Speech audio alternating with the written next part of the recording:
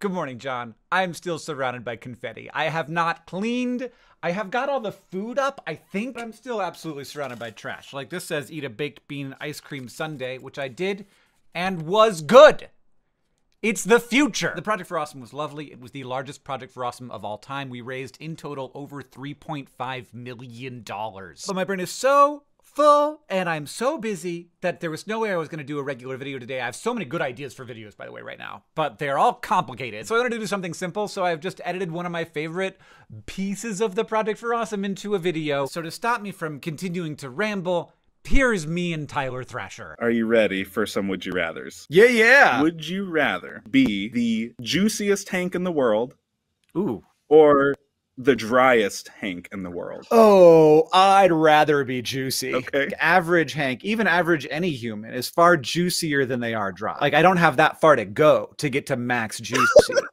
Whereas I've got a long way to go to get to max dry. All right, juiciest Hank in the world it is. Would you rather have gummy teeth or noodle fingers? I that's that's tough. Those are both awful. Are my gummy teeth sweet? yeah, if I think if you lick them for like 10 minutes straight, you kind of get like a sweet little I mean, it could, be- it could be a little something something. I'd rather have no teeth than no fingers. I'd rather have gummy teeth than noodle fingers. I'd ra- like fingers are more important than teeth. Uh, to to me, I'd rather miss out on all solid food than all liquid food. I mean, you're just is still which going is- with the juicy theme.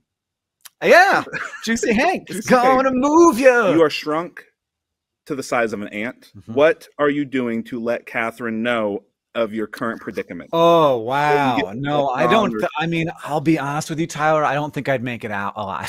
Step one: eat, fill up my little ant belly, which would in this room not be hard. I spilled a bunch of nerds on the ground yesterday, and then I rolled my chair over them. Like they are perfect ant food. Step two: hide. Because Katherine's gonna come in here and she's gonna be like, "Where the hell is Hank?" And if she sees an ant, she will kill it. Uh, then I start to move on the black carpet, I start to move things because I'm an ant and I can carry things that are quite heavy and spell out, I'm an ant.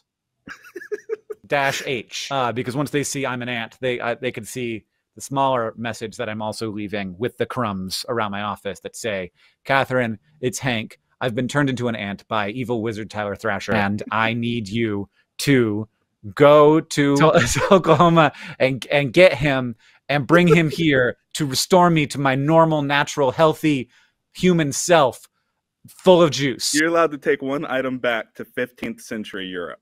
This item should inspire the masses without you being tried as a witch. What is this item? Like you wouldn't want to jump too far forward. Like you want it to be a, a piece of technology somebody could look at and understand. So like a microscope, but like a old like a like one that looks like it was made but like it could have been made by a human hand rather than a bunch of machine parts like a nicer but still old tel- telescope or a watch like something mechanical that people could understand and then also i could try and figure out how it works because honestly i don't know baja blast for sure says lamb dog i think i think probably baja blast would would inspire some followers Would you rather give birth to a live fluttering moth or a slimy snail? The size is dependent on the hole.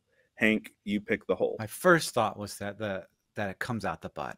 Um, the butt is the part of my body that's most used to having stuff come out of it. You know, my first thought was a live fluttering moth because that's smaller, but the slime is is a plus in this situation. It's juicy. It's juicier. It's a, lub- it's a lubricant. I think I think snail butt. and you get to keep it as a pet, too. That's the plus. Oh, that is great. I think I'd prefer prefer to have a snail. Big old snail. Okay.